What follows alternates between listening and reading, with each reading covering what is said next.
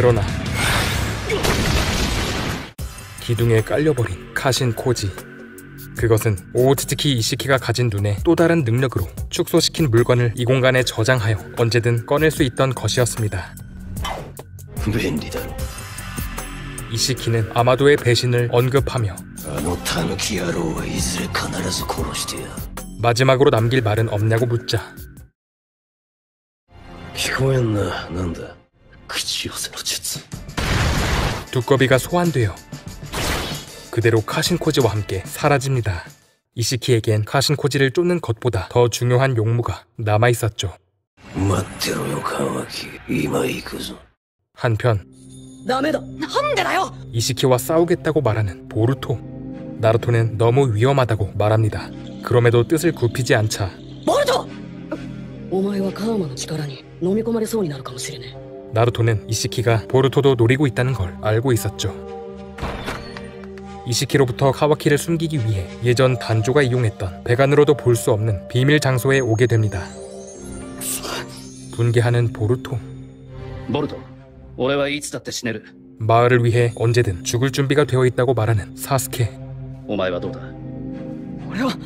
사스케는 이전 보루토에게서 모모시키의 인격이 발현됐던 일을 언급하자 보르도는 솔직히 또 그런 일이 생길까 두렵다고 말합니다. 나뭇잎 마을에 도달한 오오츠츠키 이시키. 누구건 가끔시다. 이시키의 앞을 막는 나뭇잎 닌자들.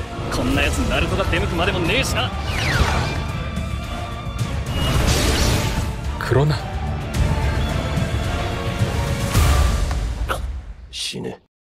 그때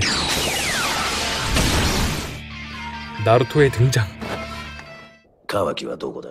이유와케네다로. 그렇게 전투가 벌어지고.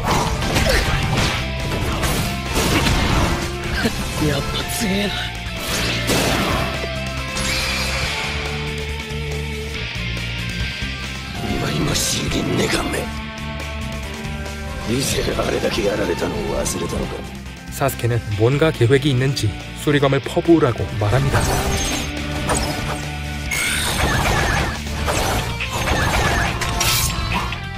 그러나 능력이 통하지 않는 칼의 정체는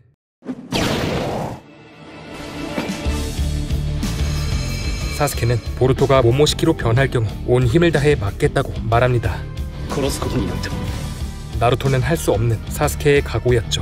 보루토는 또 한 번 사스케의 서클렛을 착용합니다.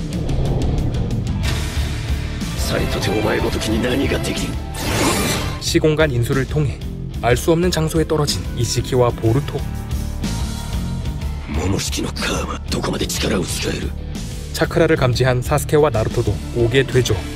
バカ野郎無茶しやがって加藤主どもめ